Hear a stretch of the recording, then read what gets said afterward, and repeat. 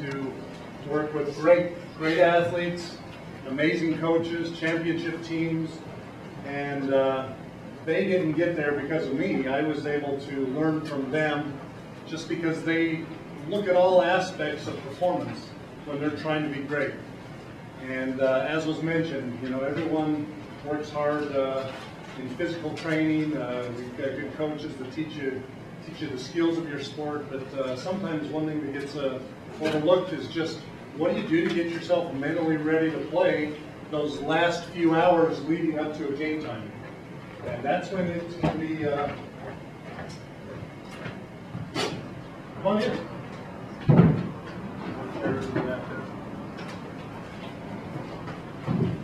Now that's what can make or break an athlete if you think about it. So the, the, before we get started in, in talking about performance routines, I'd like to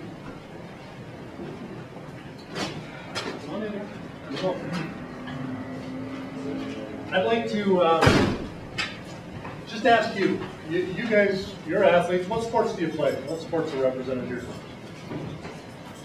Football? What other sport?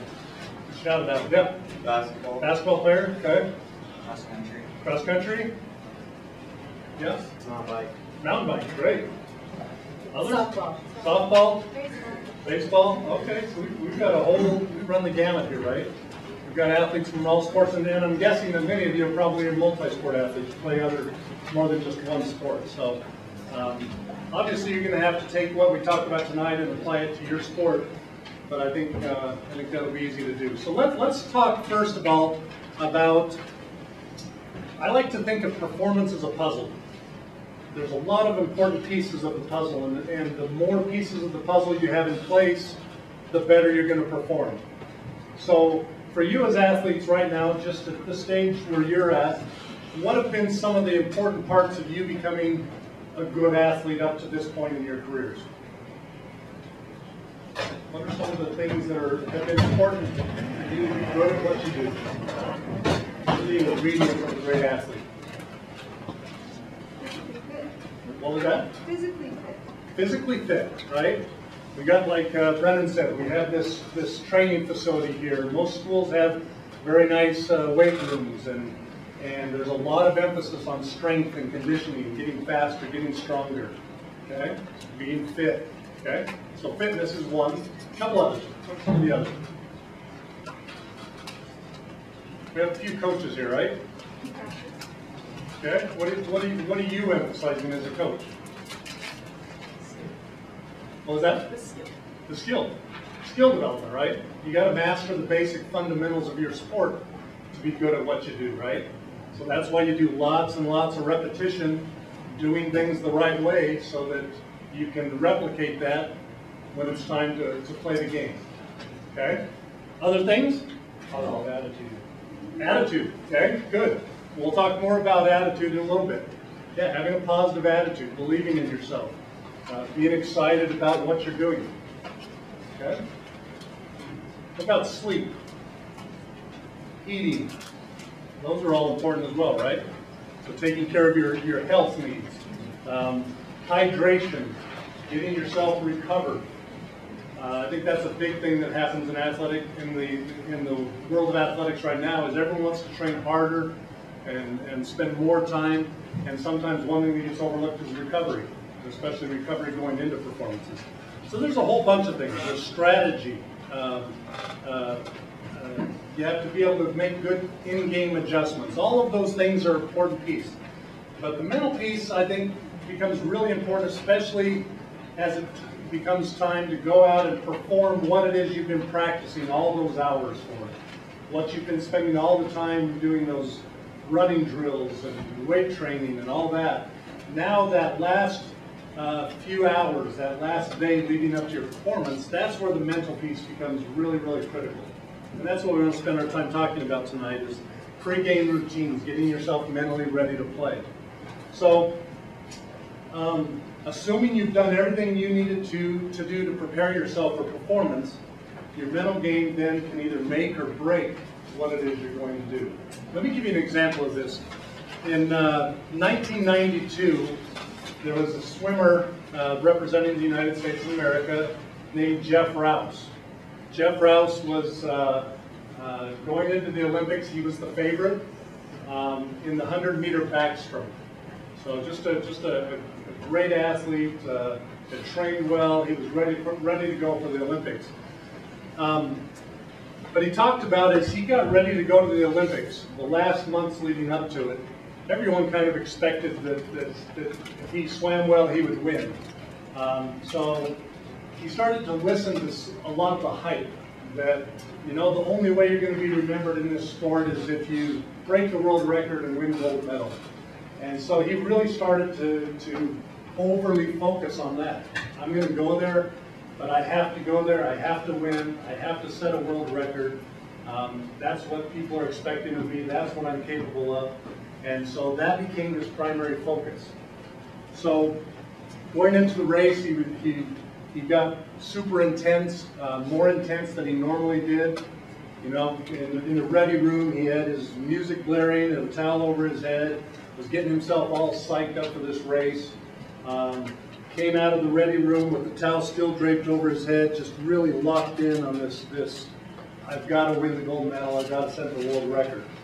And um, anyway, got into the race, got off to a decent start. Uh, the best part of his racing was his turns. So it's 50 meters down, 50 meters back. He goes 50 meters, makes his turn, comes off the wall, and uh, opened up a, a pretty significant lead. Um, but then something started to happen. Um, because he said, I have to win an Olympic gold, I have to win this race, I have to, to uh, be a gold medal winner, what do you think might have started to happen? Yeah, He was swimming not to lose, or he was swimming not to lose instead of swimming to win. yeah, yeah. He started to tighten up. And, and the tightening up physically was due to some of that, that mental pressure that he was putting on himself. I have to win, another way of saying it is I can't lose. And so, um, Mark Tewksbury, a Canadian swimmer, was on his left side, on the left lane, and he started to close that gap. And Jeff Rouse was aware that he was gaining on him, and what do you think happens? You know, Mark Tewksbury gets more confidence, more positive feeling. Uh, Jeff Rouse started to tighten up even more. And by the time they got to touch the wall, if you watched it on TV, you, you couldn't tell who won the race. It looked like it was a, a tie. But what uh, Jeff, Jeff Rouse was actually out-touched by six one hundredths of a second. Now, blink your eyes. Open them. That's six one hundredths of a second. So it was, it was, you know, that's what we're talking about. You know, just that that little difference, and what could have made that difference change. So Jeff Rouse, he went away from that Olympics very discouraged, very disappointed. He felt like he had failed. He had let himself down, his country down, his swim team and coaches, and just was really distraught about that for quite a while. Uh, took some time off from swimming to kind of just uh, get a perspective of where, what he was going to do next. Uh, after a little time away, he decided he was going to train for the next Olympic Games, which was going to be held in Atlanta in 1996. So in 1996, he, he goes back. Um, at that point, he wasn't quite as fast as he had been earlier in his career, um, but he went in with a whole different mental approach. And this is, this is the significant piece, okay? So he goes into this race and he said, you know what? Last Olympics, I got too serious and I got too focused on that outcome. I've got to win. I've got to set the Olympic record or the world record. So this Olympics, he wanted to do it differently. And he visualized this all the way leading up to the Olympic Games. When he got there, he wasn't going to be so serious. He was going to be more relaxed. He was going to have more fun with the, the whole experience. Um, when he was in the ready room, he was going to listen to some upbeat music, but he was going to keep his, his eyes up. When he came out of the ready room, he found his, his parents and family up in the crowd and gave them a, a nod or a wave, recognizing that they're there to support him. And just went into with a whole different attitude. But one of the main differences was his focus in the pool. He wanted to just focus on the process of swimming well, rather than the outcome of I have to do something. The process is he wanted to focus on, he called it easy speed. When he's at his best as a swimmer, he's in the water, doing his strokes, and he feels the easy speed. There's a rhythm to it, a smoothness to it, a flow to it. And that's what he wanted to focus on. And so the last thing he said before he got into the pool is he said, okay, just, just like practice. Just treat this like practice. And then he got set and ready to go, and the, and the race went on. And um, obviously, I wouldn't be telling you this story if he got fourth place, right?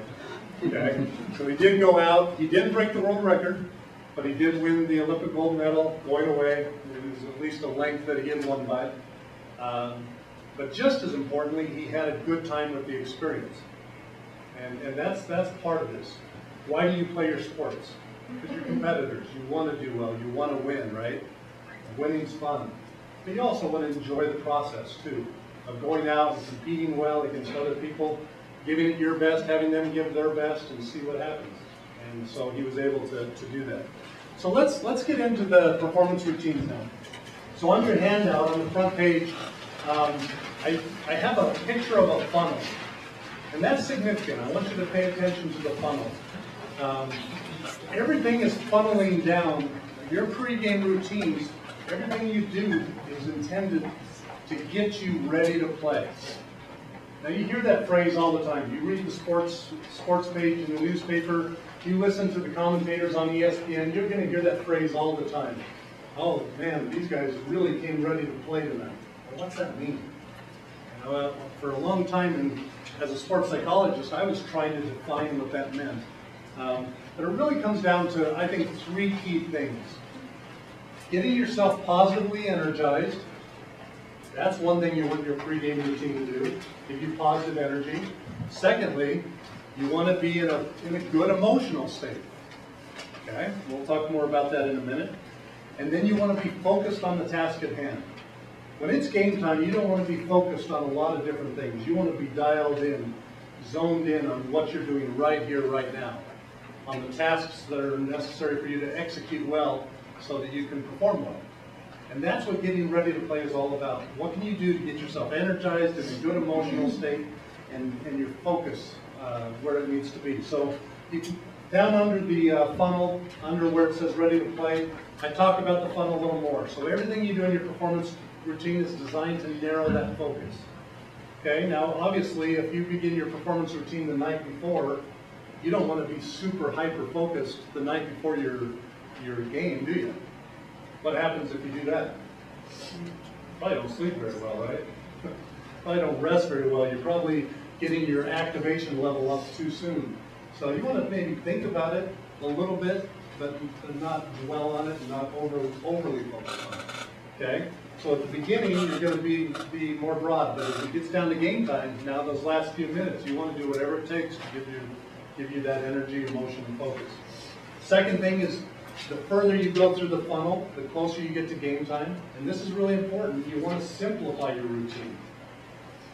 Less is better when it gets close to game time. Okay?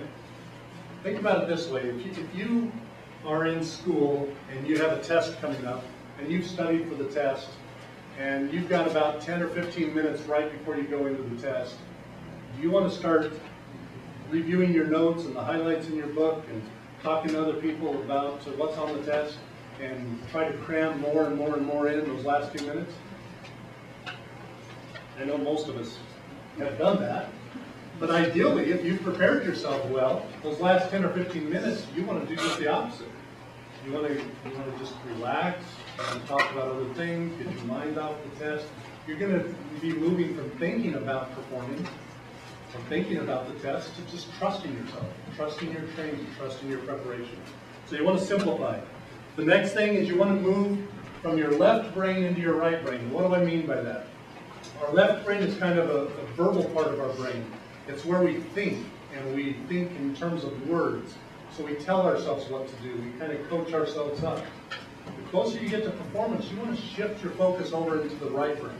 The right brain is more where you see yourself performing and executing. You feel it in your body. So it's imagery, it's visualization. That's what all great athletes do, isn't it? They picture themselves executing like they want to in the upcoming game or performance. Or they review highlights of their, their uh, past performances to kind of build confidence before they go. So you want to move into that right brain. We'll talk a little more about that too. Um, transform yourself into your performance persona. What do I mean by that? Let me give you an example. Bernard King was one of the great basketball players in the 1980s. Played for the New York Knicks. I just saw a 30 for 30 special on him on ESPN, and I thought this was a really good example. Bernard King was known for being really intense. When it, when it was game time, he's, he's one of those guys that has that game face on, that intensity, that look in his eyes. Michael Jordan was another one kind of like that. You know, there's just a look uh, about them. And not that everybody has to have that look, but for them, that was their performance persona. They were competitive. They were, they were, uh, um, they were fierce in how they competed. Was, you know, they were fiery, and that was kind of his, his mentality. So, um, he talked about uh, a rookie that was on the team with him that, that one of those years, uh, told a story and said, you know, I, we were going through warm-ups and I was all loose and looking up into the stands and I saw a movie star up in the stands and I went up to Bernard and I said, hey Bernard, look over there in the fifth row, there's so-and-so. And uh, Bernard King snapped at him, got mad, got in his face and says, rookie, don't ever bother me when I'm getting myself ready to play. And basically what he was saying there is, I'm doing something to get myself ready to play. I don't care who's in the fifth row in the stands. You know, for me, I'm getting ready. That's his performance persona. And so for some people, it's going to be different. Let's, let's take two other examples. Uh, how many of you have watched Usain Bolt race? Okay? What, what's he look like before he races? As you think of the, you know, as they're introducing the, the runners from the different countries and they're putting the camera on him, what have you noticed about Usain Bolt? Is he, is he super serious and real intense in his face? I think he's pretty relaxed. What's that? He's pretty relaxed. He's pretty relaxed. He's pretty loose. He's, he's kind of a, he has more of a fun personality. For him, you know, he wants to feel, he's having fun. You know, he's doing his little poses and he's having fun and he's interacting with the crowd and, you know, that, that works for him. Now, another athlete in exactly the same races, Michael Johnson from the United States, who was the previous world record holder in the 200 meters and still holds the 400 meter record, he's the opposite. I mean, he's got that intensity, like I described with Bernard King. His eyes are locked in and focused. He's, he looks mean and mad and angry, and that works for him. So those are the, the performance personas, and you kind of got to find what works best for you. And it's going to depend on your personality, your sport. Um, obviously, if you're a golfer, you're not going to want that same intensity when you're getting ready to putt on the 18th hole. You know, that's that's not going to work. So it's kind of going to depend on your sport. But uh, that's part of what a performance routine is designed to do. And then again, as we talked about, moving from a thinking mode to a trusting mode. So let's go down to the bottom of your first page handout, uh, Ben. I have something that's very important. To maximize your personal performance, okay, you have to choose to be intentional about everything that you do. If you really want to be your best, you want to be intentional about it. Okay? You don't want to just show up for the game hoping that you play well. You want to do everything you can to prepare yourself so you leave nothing to chance. Now, there, on your uh, second page is a picture of LeBron James. I have had his picture on there for a couple of reasons. We'll refer back to it in a few minutes. But LeBron James obviously is a tremendous talent. Just, you know, a physical specimen, perfect for his sport. Um, he works hard, he trains hard, all of that. But one thing a lot of people don't know about uh, LeBron James is just how detailed he is about his preparation for his games. Um, so in the NBA, they have 82 games in a season. He'll spend, so the 41 home games, he has exactly the same routine every game. He eats his pregame meal from 4 to 5 o'clock. 5 o'clock, he leaves his home, he goes to the arena. When he gets to the arena, he changes into his workout clothes, does his stretching, does some light lifts, um, uh, gets a little bit of treatment, and then he goes out to the court. When he gets out to the court, he has a very specific shooting pre-game routine that he goes on, where he shoots from so many shots from different spots on the court. After he's done all of that, then he goes back in, changes into his game uniform, and that's when the team routines start. So at that point, he's kind of done his personal preparation. Now the team kind of does their thing with him. Um, at the playoffs last year, they showed his routine. Now again, you got to consider these players have played at the time they're in the finals, the NBA finals. They've played up to 90 to 100 games already that season. So his his main focus is just getting his body ready for the next game. So he would get up, he would have breakfast, he would have a massage, he would watch a little bit of game film, he would eat his lunch, he would um, take a nap, become best in recovery. Then he would have his second massage, very detailed. It was the same thing every day during the playoff series. Okay, so back to that quote at the bottom, being intentional about everything you do. You want to get to your, your routine so fine tuned that you're doing basically the same thing every time that's working for you. And while you're trying to figure it out, you know, you may change it up a little bit. But overall, you want to eventually get to the point where you're doing very similar things. Okay, let's, let's shift gears for just a minute. So we're going to go to page two now. I'm going to talk briefly about some mental barriers. Okay, these are things that tend to get in the way of performance for athletes. Okay, so let's talk about a few of these, and then then we're going to get into the mental uh, mental tools that uh, you can incorporate into your performance routine. So the first one is performance anxiety. How many of you have been nervous before a performance? Okay, good. Hopefully everyone raised their hand. Okay, that's normal. It's normal. People feel nervous. It's important to you. You've trained hard. You've gotten yourself ready. That nervousness is normal. It's okay. Um, but if it's too high, people get tense. They get tunnel vision. Uh, they don't think clearly. They don't. So, so things change. So if the anxiety gets high, so one of the things you got to learn is to kind of manage that anxiety. We'll get into that in a minute. Okay. Self-confidence issues. So maybe sometimes your confidence is high, sometimes it's not quite as high. What do you do to kind of change that? Because if you're not as confident as you'd like to be, that's going to be a barrier for performance. Pressure. Okay? Sports, is there pressure in sports? Okay?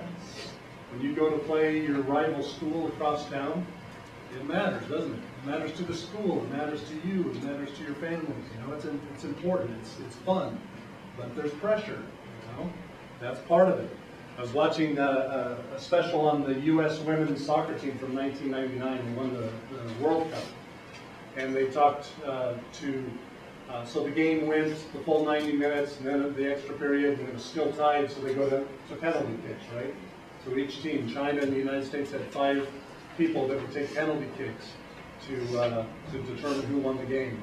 And they interviewed each of the, the players that took the penalty kicks for the United States, and I still remember one of the, the women said the only thing she was thinking about as it was leading up to her time to go kick the goal, or uh, make the attempt at kicking the goal, was her legs were shaking so bad she was a, she was afraid that the people in the stands were going to notice how nervous she was. Did she feel pressure? Of course. You know, she's in the Rose Bowl in front of 100,000 fans, plus all of the TV viewing audience. This is important. She was nervous. She felt pressure, but then she knew how to deal with it too. And we'll talk about that in a few minutes when we get to the strategies. Fear of failure. You know, worried about failing. What, what happens if I fail? What happens if I don't do well? That can be a real uh, barrier for athletes. The expectations of others. You don't want to let down your coaches, your teammates, your, your uh, uh, family, and others. Okay? I think a big thing to bounce back is how do you bounce back from a poor performance? Maybe the previous day's practice or your warm-up didn't go well. That can be a barrier. Um, so those are those are all all some barriers that you have to overcome. Other barriers that you've experienced? What else has gotten in the way of your performance? I'm kind of curious. Anything else that's not that I haven't talked about there? I did most of the main ones. A couple others I would add, overthinking. You're just overthinking about it, but that's going to lead to the, the performance anxiety. Negative self-talk, which again is going to drive a lot of these emotions we've talked about. And then back to the Jeff Rouse example of the swimmer, when he was so focused on the outcome at performance time, that can be a barrier. So let's let's get into some mental mental training tools. I'm going to actually have you walk through a few of these with me as we go through them. So, first thing, acceptance. Okay, athletes need to learn to accept that there's going to be times you're nervous, you feel pressure, you feel fear, your confidence as high. You've got to be able to know that that's going to be the case. That's part of the gig, and be able to accept that and be okay with it. I like to call that get learn to get comfortable being uncomfortable. You know, so back to that, that soccer player that I was telling you about. Yes, her legs were shaking. She was nervous. She was worried about what everyone was thinking. But now it was her turn to step up to, to kick the goal kick, and now she's got her performance routine. They practiced those kicks all the time leading up to the Olympics. She had done it a hundred times in practice. So now she just went back, took her deep breath, made her decision what she was gonna do, and executed the shot. And was successful with it, by the way. Um, those routines, she, she was uncomfortable, but she learned to be comfortable and then learned to perform by going back to her routine. Uh, focus plan. Having a focus plan. Um, this goes back to overthinking things. Keeping it, you want to keep it simple. So I like to, to encourage athletes to, to think of, if I could identify one or two keys for me to perform well in tomorrow night's game, what would those be? Okay? Because there's so much you can think about. You know, coaches give you game plans and you have things you're working on and you can think about so many things, but you want to really kind of simplify it down and trust that everything else is going to take care of itself. Um, let me give you a couple of examples of what a focus plan might look like. So as a, as a basketball player, basketball player I worked with had a tendency to overthink things. So one of the things we worked with him on was, okay, think of yourself when you're at your best as a player. What would people notice and recognize, or what do you feel about? And he says, you know, when I'm at my best, I'm playing tenacious defense. I said, okay, what's that look like? Get a picture of that in your mind. So I had him close his eyes and picture for just a, a few seconds what it looks like when he's in that defensive stance and playing tenacious defense. And he's bothering the other player, just, uh, just you know, uh, in his face. Second thing he said is when I'm dominating the boards, when I'm going hard to, the, to, to rebound. So again, we'd have him picture himself going up and, and grabbing the rebounds and being strong with the ball. Um, that was an important piece. Then the other thing he said is, you know, when I'm not thinking about my shot, when I catch it in the flow of the offense and I just take my shot in rhythm and it's nice and smooth. So smooth shot. So we have him picture that. That was his focus plan. Those three things. Trusting that everything else that he's prepared to do will happen. But those are three things that he could control that he wanted to focus on to play well. I'll give you an example of a golfer. So a golfer's focus plan.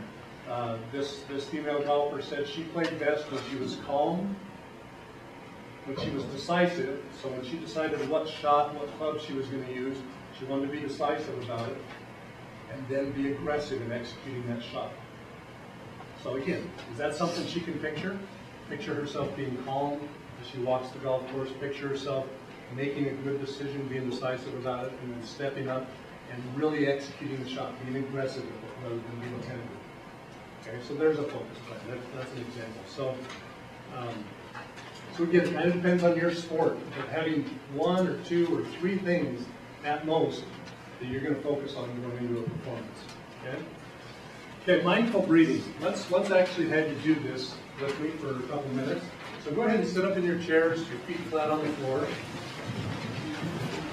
Preferably uncross your arms and legs, and you can just kind of rest your hands on your lap. Yeah, put your sheets on the floor if you want.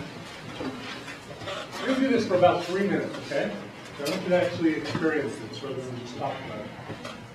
Okay, so go ahead and uh, look down toward the floor, bow your head a little bit, close your eyes, if you're comfortable doing so. And here's what I want you to do. For the next few minutes, I just want you to bring your full attention to your breathing. Just notice what it feels like to inhale and to exhale. To breathe in, to breathe out. You might notice the feel of the air as you breathe in through your nose and out through your mouth.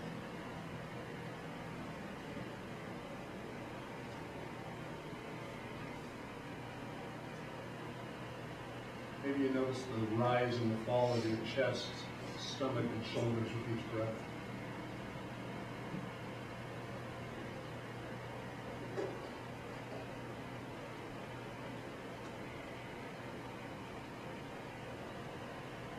Maybe just notice the rhythm of your breathing. It doesn't really matter which aspect you choose.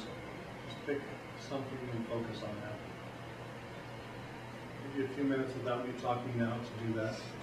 If you get distracted by a thought or a sound or a bodily sensation, just notice that your mind has wandered and then bring your focus back to your breathing.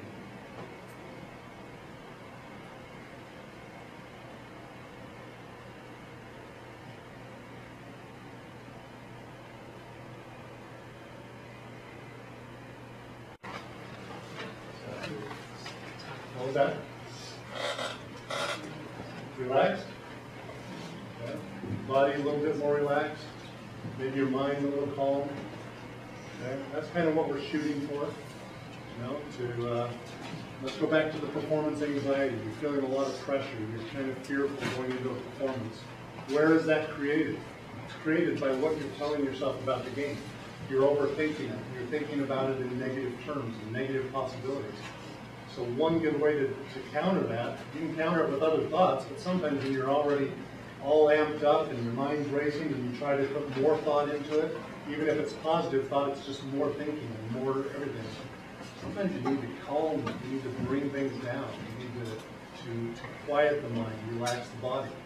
So sometimes one of the better ways to quiet the mind is to relax the body first, the mind will kind of follow. So that's one of the reasons we do the, the mindful breathing. It, get, it has a tendency to quiet the mind, relax your body. The body scan, the, the last part we did, I kind of went through it a little quickly tonight, but I just wanted you to at least experience it briefly. That's another uh, way of, of getting yourself to relax. So let's say you're standing there for, for introductions or the national anthem, you're feeling kind of tight, tight and tense. You know, you can do that. You don't have to close your eyes, lay down, sit down. Can just stand there and just kind of focus on relaxing your face, relaxing your neck and shoulders, relaxing your arms. Kind of let that, that uh, relaxation just spread throughout your body. Again, as you're doing that, as you're relaxing the body, you're going to be calming your mind. And A calm mind is a trusting mind. A trusting mind leads to better performance. Okay, there's other exercises you can do like that, but I want to give you a real quick and practical ones. And most of the time, you're not going to go lay down and, uh, besides, you're, you're trying to keep your energy level up too, right? So can you have a high energy level and a relaxed body? Absolutely. And that's really uh, an important combination for most athletes, is to have a, a highly energized body, but, still the muscles are relaxed and loose. Okay? All right, let's move into the next couple. Now we're going to look at kind of mental ways of getting yourself ready. Positive programming. Um, nowadays we have smartphones, they're wonderful. Uh, to do so many things. One thing I would encourage you to do is go to the notes part of your phone and come up with a list of 15 to 20 statements that describe you when you're at your best. I am confident. I'm strong. I'm fast. Um, I belong with the best. I bring out the best in my teammates. Um, I love playing soccer. Um, those types of statements. You notice most of them are I am statements, as if you already are that person. So think back to when you're at your best and describe yourself in those types of terms. Put it in your phone write it in your phone, then you can read them to yourself out loud. Your phone has audio function. Put some of your favorite music in the background and read those statements to yourself. So now as you prepare for performance, you're hearing yourself be that confident athlete. You're hearing it in your own words. You're saying it with your own voice. You're reading it with your own eyes. Okay? That's what positive programming is all about. And uh, we'll get into how you might use that in your routine in a few minutes. Okay? Positive self-talk. The, the, the difference here that I want to make, the positive programming is kind of a proactive way of doing it. You're, you're taking charge and you're telling yourself what to think. The positive self-talk, what I mean by that is if you catch yourself being more nervous, more anxious, uh, fearful, scared, feeling pressure, not as confident, that's when you kind of got to take charge and say, okay, I need to tell myself some positive things right now. And so that, that's just noticing the negative stuff that causes those other uh, emotions you don't want to have and replacing it with more positive words. Okay? Imagery. How many of you visualize? I'd like to see your hands. How many of you visualize your performances right now, currently? Okay? So it's about half of you or more. Raise your hands. And here- here's what I want uh, to, to emphasize here. Again, we're moving from the left brain to the right brain. Left brain, we think about performing. Right brain, we see it, we feel it, we experience it mentally. You know, our minds really don't know the difference between what's real and what's vividly imagined. So when we vividly imagine ourselves doing well, when you do well, what's that do to your confidence? It elevates it, right? So when you see and feel yourself having successes, even though it's just in your mind, it's still going to boost that confidence. And it's gonna give you a chance to mentally rehearse or practice some of the skills that you've been working on, which actually works the motor centers of your brain, which is, I think, is interesting. So not only are you building confidence, but you're actually doing some rehearsal. Your, your brain and your body, the muscle memory, uh, those firings in your brain, you're actually performing the skill and being successful. Okay? And then the last one, look at LeBron James's pose on your paper there. That's an example of a power pose. This, this is really interesting to me. There's a, um, a, a researcher by the name of Amy Cuddy.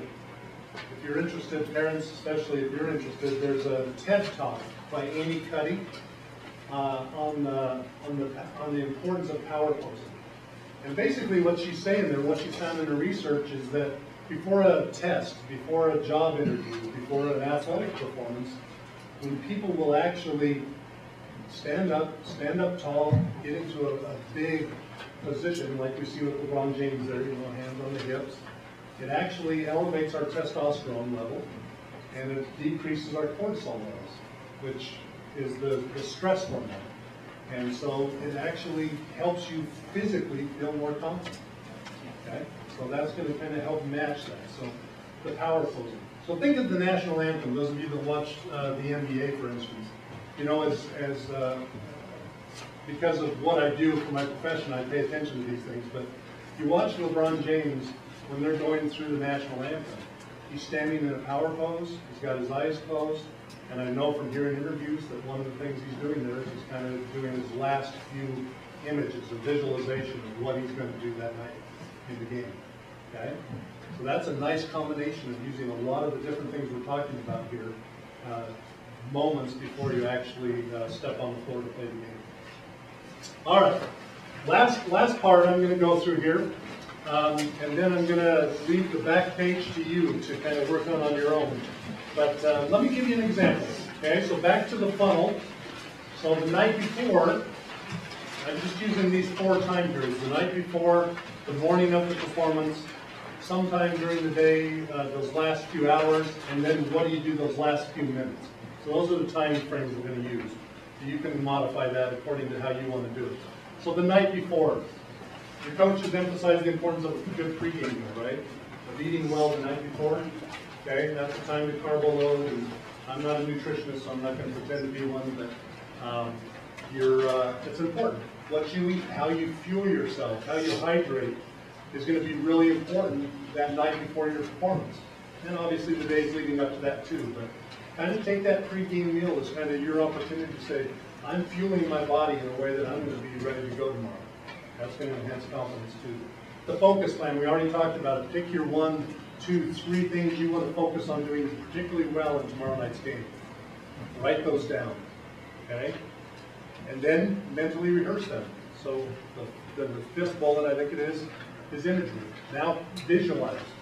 Lay down, close your eyes, kind of go to the movies of your mind. Picture yourself executing the focus plan that you just wrote down. Doing those two, three, four things that you're going to do, doing them really well. Okay? The positive programming. Again, listen to yourself, saying those positive words. I'm ready, I'm confident, I'm strong, I uh, love to play, whatever your list is. And then you can use the uh, time to kind of go through your, your positive programming. Um, one of the last things I like to emphasize on the, the, the, the night before games is most athletes are a little bit, uh, especially if you've done positive programming and focus planning and some imagery, sometimes you can get your activation level up. Now you kind of need to calm yourself down, let go of the performance. It's not going to be until tomorrow, so you don't want to overthink about it. So now it's, that's a nice time to do some mindful breathing, to do that body scan, to get yourself into a relaxed place. Maybe listen to some soft music, something that relaxes you and takes your mind away from the performance. So if you, you'll notice one thing I'm saying here is you want to be intentional about programming the right things in, but then you got to let go of it. Now it's time to distance yourself from it a little bit and trust that uh, you'll get back to it tomorrow. Okay? And then obviously you want to get a good sleep. Have a, have a, have a very regimented sleep schedule. The night before a game, how many hours do you need? You know yourself. How many hours of sleep do you need? Make sure you go to bed at the right time and get up at the right time. Sometimes with weekend games, some athletes will make the mistake, if they don't play till late in the day of, of staying up really late and then sleeping in. Um, You, you want to get on a very consistent sleep schedule.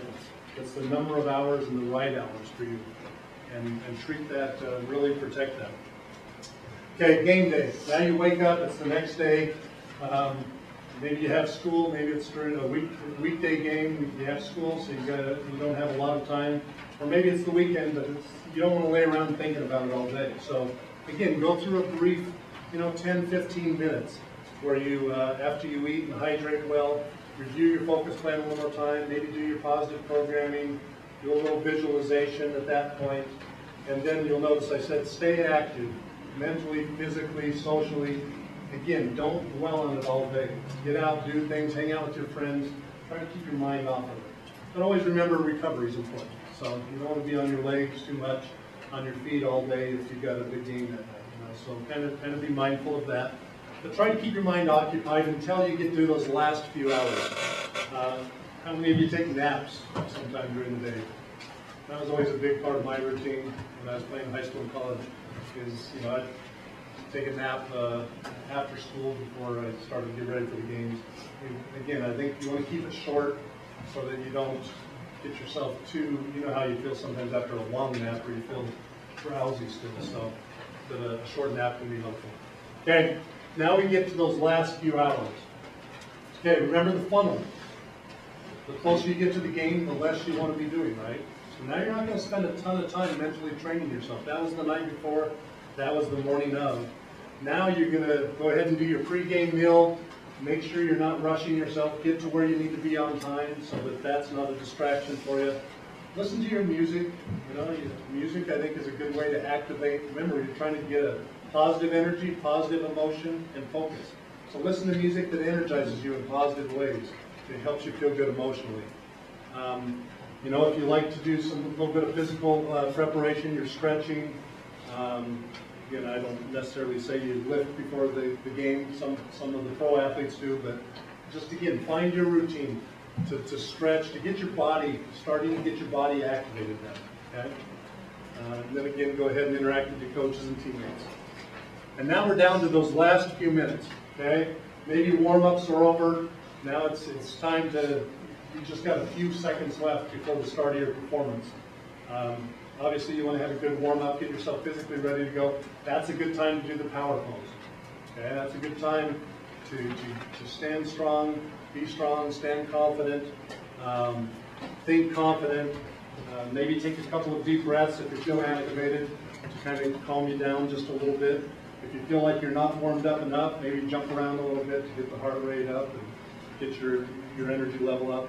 And then I have down here snapshot images. And what I mean by that is just quick images of yourself doing something well. Just one, two, three quick images of something positive.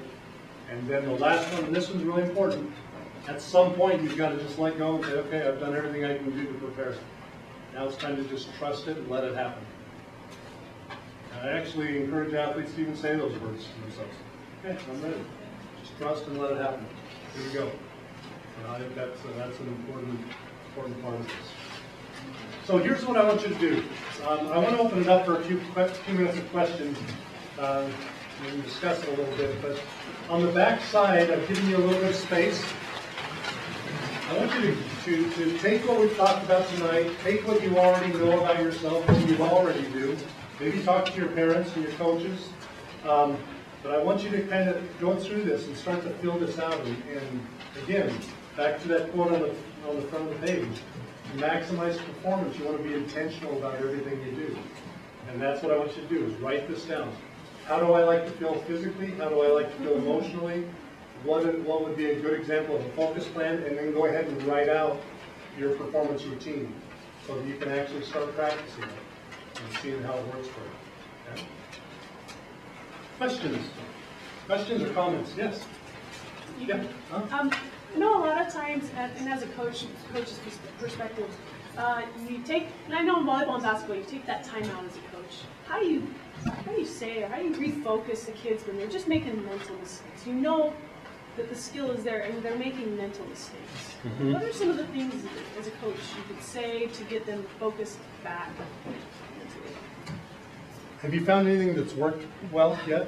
Well, I'm just some of the things that you've said, I've tried. Yeah. You know, like Yeah. let's just get back to the basics, keep it simple. You know, Yeah. those are the things that. I've tried. You know, um, I just don't know. I mean, this is all really good, and I'm gonna, you know, Yeah. this is really good. But It, it's a great question, and I think it's gonna be different for different athletes, and it's gonna be different for different teams. right, You know, there, there's some athletes, and I'm, I'm not one that, uh, is big on, on uh, yelling at athletes. But you know what? Some, sometimes with some athletes or some teams, they're just kind of going through the motions, they're not focused, their, their activation level's low, they're flat. Sometimes you gotta be a little fiery with them to kind of wake them up, you know? Um, that's, that's gonna be, you kinda have to read that and see, what do you think it is that's causing them to, to make all those mental mistakes? Are they flat, are they not thinking well, and that? But the other side, and this is what I see more often, is athletes are trying too hard. They're overactivated, and they know they're not playing well, and they're, so they're, they're kinda getting, uh, frantic. And in those situations, you probably need to do just the opposite. You need to talk to them in a calm way, give them some very simple instructions. Um, um, Express your confidence in them, you know? So again, I wish there was a, an easy answer for everything. I know you're not asking for that, but I think you kind of have to read the, the team or the athlete and kind of see what it is that's leading them to have the mental lapse that they're having. Is it overactivation or are they underactivated? They're emotionally not into it, you know, so, anyway. Yes? I just had a comment. um, Yes. I think a lot of it has to do with the way your entire approach is to coaching the team in the first place. So if your, your practices are high strung or high activity all the time and you're letting the kids go there and do that, that's more, to rein them in, it's gonna be a little bit harder, I would, I would think Mm-hmm. if you've got that, hey, let's go calm down and everybody take a moment to take a deep breath together to center themselves, Yep. I think if, if they all of a sudden need to be centered again, you pull them off the court and say, everyone close your eyes and take a deep breath, that's gonna have a better response for the team. So you get the, whatever you do in practice definitely carries over to games, not just the way they're performing, but the way it's being coached also. Great comment, I appreciate that. Yeah. Yeah, I think, I think your practices should be simulations of, of games. Yeah. So, you know, you practice some of those things and how you coach people in practice as well. I, still remember, uh, watching a video of Mike Krzyzewski. Uh, Obviously, everyone knows that he's been very, very successful at everything he's done coaching wise. Um, He was talking about, uh, in the NCAA tournament, uh, several years ago, one of the years they won their national championship, um, they were just getting killed by Maryland in, I think it was a Final Four game or Elite Eight, one of the two. I think they were down 20 points, you know, and just playing horrible. And, you know, he, he came into the huddle and he kind of talked to them about, okay, everybody take a deep breath. To, we need to calm down for a second. And then he talked about, he said, you know, look at me. And then he kind of got into his power pose. Said, look at me. Said, I believe in you. We're gonna win this game tonight. Oh, I believe in you. So if you're not confident in yourself right now, then look at me and get your confidence from me. And, uh, and then he said, we're not gonna run any plays for now. I just want you to treat this like it's a pickup game in the gym. You go out there, you guys trust each other, you know how to play the game, let's, no, let's go. And he talked about, and they, they, actually, I wouldn't have told the story again if it didn't turn out well. But they go out, they come back, you know, this great, one of the great, uh, uh, comebacks in college basketball history. But I think that that was a good example of being able to read your team and kind of know what they need and, and emphasize it at that time. Other, other thoughts, comments, questions? I know it's uh, been an hour, so I know you- you're all busy and have other things to do, so won't keep you too long if you don't have any other questions. But I'm happy to stay around for a few minutes afterwards if, uh, if someone just wants to uh, ask an individual question, not do it in front of the whole group too.